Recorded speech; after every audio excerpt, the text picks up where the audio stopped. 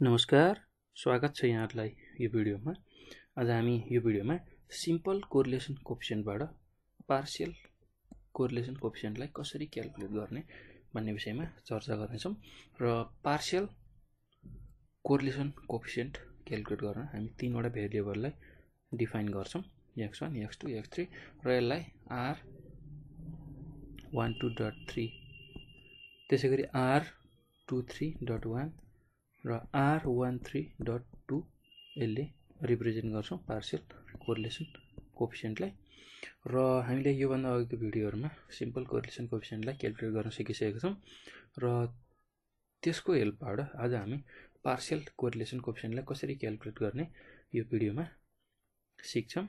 र simple correlation coefficient जसलाई हामी r one two r one three र आर टू थ्री यो सिम्बलले रिप्रेजेन्ट गर्छौँ भनेको दुईवटा भेरिएबलको बिचको रिलेसनसिप जस्तै कि आर वान टू भन्यो भने एक्स वान र एक्स टू बिच जुन रिलेसन छ त्यसलाई यसले जनाउँछ। र आर वान थ्री भन्यो भने एक्स वान र एक्स थ्री बिचमा र R two three two three भयो भने एक्स टू र एक्स थ्रीको बिचको रिलेसनसिप भन्ने बुझिन्छ। र simple correlation coefficient r one टूलाई calculate गर्न हामी n summation x one into x two minus summation x one into summation x two divide by root under n summation x one square minus summation x वानको whole square into root under summation X two square minus summation X टूको whole square यो formula use गर्छौँ। त्यसै गरी are one three निकाल्न N summation X one summation x one into summation x three divide by root under n summation x one square minus summation x वानको whole square into root under n summation x थ्रीको square minus summation x थ्रीको whole square र त्यसै गरी are two three निकाल्न n summation x two into X three minus summation X two into summation X three divide by root under N summation X two square minus summation X टूको whole square into root under n summation x थ्रीको square minus summation x थ्रीको whole square यो फर्मुलाको use गर्छौँ। र यो simple correlation coefficient निक्लिसकेपछि हामी त्योबाट partial correlation coefficient calculate गर्न सक्छौँ। र partial correlation coefficient between x one and x three calculate गर्न हामी यो फर्मुलाको युज गर्छौँ जहाँ हामी एक्स टूको इफेक्टलाई इलिमिनेट गर्छौँ अथवा एक्स टूलाई कन्सट्यान्ट राख्छौँ। र यसलाई symbolically r one three dot two लेख्न सकिन्छ। र यसलाई निकाल्न हामी यो फर्मुला युज गर्छौँ। R one three minus r one two into r two three divide by root under one minus r one टूको square into root under one minus r two थ्रीको square र यो r one three r one two र are two three यो सबै correlation कोफिसेन्ट आरको सबस्क्रिप्टमा लेख्ने गरिन्छ। यो तपाईँहरूले ख्याल गर्नु होला एकदम सजिलो छ। र यो फर्मुलालाई कसरी एप्लाई गर्ने? यो दिएको फर्मुलाहरूलाई र सिम्पल कोरिलेसन कोफिसियन्टबाट पार्सियल कोरिलेसन कोफिसियन्ट कसरी क्यालकुलेट गर्ने? त्यो कुरा अब हामी सिक्छौँ र यसको लागि हामीसँग यहाँ प्रब्लम छ जसमा हामीले partial correlation coefficient between X one and X three थ्रीलाई calculate गर्नुपर्नेछ। एक्स टूको इफेक्टलाई इलिमिनेट गरेर र त्यसको लागि हामीलाई यसरी डेटा प्रोभाइडेड गरिएको छ। र यसबाट हामीले सुरुमा सिम्पल कोरिलेसन कोप्सनलाई क्यालकुलेट गर्नुपर्नेछ। र हामीलाई टोटल नम्बर अफ अब्जर्भेसन अथवा स्याम्पल यसरी टेन प्रोभाइडेड गरिएको छ। र summation x one summation x two summation x three summation x one square summation x two square summation x three square summation x one x two summation x one x three summation x two x three यसको value provide गरिएको छ। र सुरुमा हामी simple correlation coefficient between x one and x two calculate गर्छौँ जसलाई हामी are one टूले represent गर्छौँ। र त्यो निकाल्न हामी n summation x one x two minus summation x one into summation x two divide by root under n summation x one square minus summation x वानको whole square यो formula use गर्छौँ। त्यसै गरी n summation x two square minus summation x टूको whole square यो यो फर्मुलामा अब हामी value राख्छौँ। हामीलाई दिएको भ्यालु र एनको भ्यालु हामीसँग टेन छ into summation x one into x टूको value ten छ माइनस समेसन एक्स वानको भ्यालु टेन छ इन्टु समेसन एक्स टूको भ्यालु ट्वेन्टी छ। डिभाइड बाई रुट अन्डर एनको भ्यालु हामीसँग फेरि टेन छ इन्टु समेसन एक्स वानको स्क्वायर भनेको ट्वेन्टी छ माइनस समेसन एक्स वान भनेको टेन छ यसको स्क्वायर गर्छौँ। इन्टु रुट अन्डर एनको भ्यालु टेन छ इन्टु समेसन एक्स टूको स्क्वायर भनेको हामीसँग सिक्सटी एट छ माइनस समेसन एक्स टू भनेको ट्वेन्टी छ यसको स्क्वायर गर्छौँ। र यो माथिको भ्यालुबाट हामीले माइनस हन्ड्रेड डिभाइड बाई यो यति भ्यालुले हामीलाई वान हन्ड्रेड इन्टु यो भ्यालुले हामीलाई टु एट्टी दिन्छ। यो रुट अन्डर हाम्रो छँदैछ। र यसलाई क्यालकुलेटरमा थिच्ने भने यसले minus zero point five nine eight value दिन्छ। र त्यसै गरी आर वान टू निकालिसकेपछि अब हामीले आर टू थ्री निकाल्छौँ। र त्यसको लागि n summation x two x three minus summation x two into summation x three divide by root under n summation x टूको square minus summation x टूको whole square into root under n summation x थ्रीको square minus summation x थ्रीको whole square यो फर्मुलाको use गर्छौँ र यसमा an भनेको हाम्रो ten छ value into summation x one summation x two x थ्रीको value हामीसँग सिक्सटी फोर छ माइनस समेसन एक्स टूको भ्यालु हामीसँग ट्वेन्टी छ इन्टु समेसन एक्स थ्री भनेको थर्टी छ। Divide by root under n भनेको हामीसँग टेन छ इन्टु समेसन एक्स टूको स्क्वायर भनेको सिक्सटी एट छ माइनस समेसन एक्स टू भनेको ट्वेन्टी छ यसको square into root under n भनेको टेन छ इन्टु समेसन एक्स थ्रीको स्क्वायर भनेको one seven zero minus summation x three भनेको थर्टी छ यसको होल स्क्वायर गर्छौँ।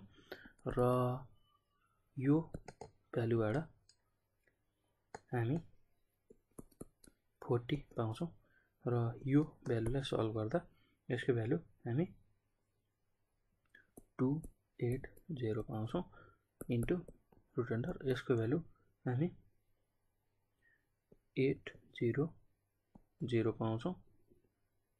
र यो भ्यालुलाई क्यालकुलेटरमा थिच्ने भने यसले plus zero point zero eight five value दिन्छ। र आर वान टू र आर टू थ्री निकालिसक्यौँ। अब हामीले आर वान थ्री पनि क्यालकुलेट गर्नुपर्ने हुन्छ। सिम्पल कोरिलेसन क्वेसनमा आर वान थ्री क्यालकुलेट गर्न n summation x one x three minus summation x1 into summation x3 divide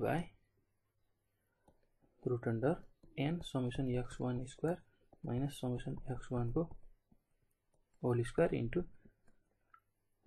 root under n summation x थ्रीको square minus summation x थ्रीको whole square र यसको value हामी राख्छौँ क्रमैसँग र एनको भ्यालु हामीसँग टेन छ into summation x one x थ्रीको value हामीसँग फिफ्टिन छ माइनस समेसन एक्स वानको भ्यालु टेन छ इन्टु समेसन एक्स थ्रीको भ्यालु थर्टी छ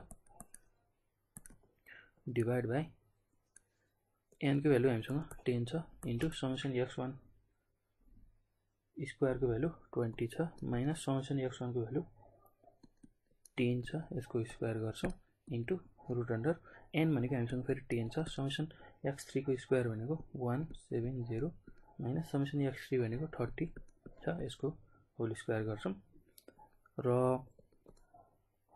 यो माथिको भ्यालुबाट हामी माइनस वान फाइभ जेरो पाउँछौँ भने यो तलको भ्यालुबाट root under one zero zero into root under two root under eight zero zero यो भ्यालु पाउँछौँ।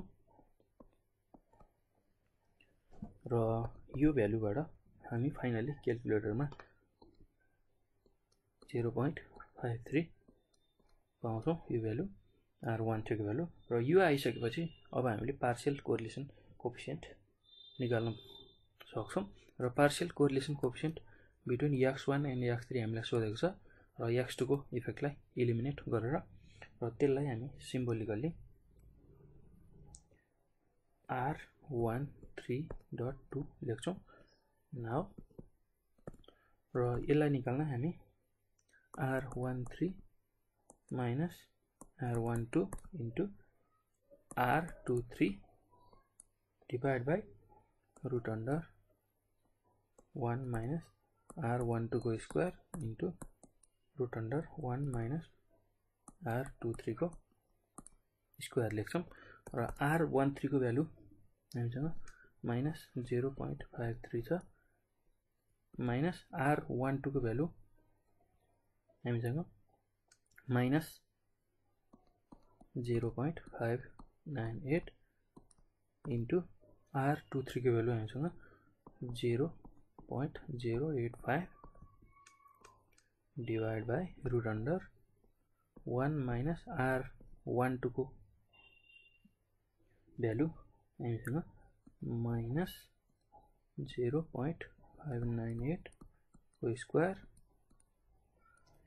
into root under one minus r two थ्रीको square भनेको जेरो पोइन्ट जेरो एट फाइभको whole square लेख्छौँ। र यो भ्यालुलाई क्यालकुलेटरमा थिच्ने हो भने हामी finally zero point seven two seven प्राप्त गर्छौँ। र यो नै partial correlation coefficient between partial correlation coefficient between x1 and x3 हो by eliminating by eliminating by the elimination लेख्दा अझ बेटर हुन्छ by the elimination of X two X टूलाई eliminate गरिसकेपछि पार्सियल कोरिलेसन कोप्सेन्ट हो। एकदमै सजिलो छ। यसलाई क्यालकुलेट गर्न तपाईँहरूले विशेष रूपमा सिम्पल कोरिलेसन कोप्सेन्टको फर्मुला जान्नु पऱ्यो यो फर्मुला र सिम्पल कोरिलेसन कोप्सेन्टमा भ्यालु हाल्ने बित्तिकै यसले पार्सियल कोरिलेसन कोप्सेन्ट दिन्छ। यो फर्मुला युज गरेपछि र सिम्पल कोरिलेसन कोफिसियन्ट क्यालकुलेट गर्न यो फर्मुला तपाईँहरूले जान्नै पर्ने हुन्छ र त्यसकै आधारमा हामी पार्सियल कोरिलेसन कोफिसियन्टको फर्मुला युज गर्छौँ र भ्यालु निकाल्छौँ। एकदम सजिलो छ यसलाई क्यालकुलेट गर्न। यसलाई बुझ्नु होला र यो हेरिसकेपछि यसलाई कपीमा एक दुईपटक प्र्याक्टिस गर्नु होला किनभने इक्जाममा यस्तो खालको प्रब्लम प्रायः जसो सोधेको पाइन्छ सर्ट क्वेसनमा। र बोर्ड इक्जाम र इन्टरनल इक्जाम पोइन्ट अफ भ्यूबाट पनि यो इम्पोर्टेन्ट क्वेसनको रूपमा मानिन्छ यस्तो खालको क्वेसन एकदम सजिलो छ। तपाईँहरूले बस फर्मुला राम्रोसँग जान्नु पऱ्यो र भ्यालुहरूलाई सही तरि तरिकाले क्यालकुलेट गर्नुभयो भने सजिलै पार्सियल कोरिलेसन कोफिसियन्ट क्यालकुलेट गर्न सक्नुहुन्छ। र यो भिडियो ध्यान दिएर हेर्नु होला। र यो भिडियो हेर्दा तपाईँहरूलाई कुनै कन्फ्युजन भयो भने हामीलाई सम्झाउन सक्नुहुनेछ। त्यसको लागि nine eight four nine five nine five eight nine five. यो हाम्रो सम्पर्क नम्बर त्यसै गरी स्ट्याटिस्टिक्स लर्निङ नेपाल। यसमा पनि हामीसँग जोडिएर आफ्नो जिज्ञासा समस्या कन्फ्युजनहरू राख्न सक्नुहुनेछ र हामी त्यसको समाधान तपाईँहरूलाई गराउनेछौँ। र यो भिडियो हेरिसकेपछि यसलाई लाइक सब्सक्राइब र सेयर गर्न नभुल्नुहोला धन्यवाद।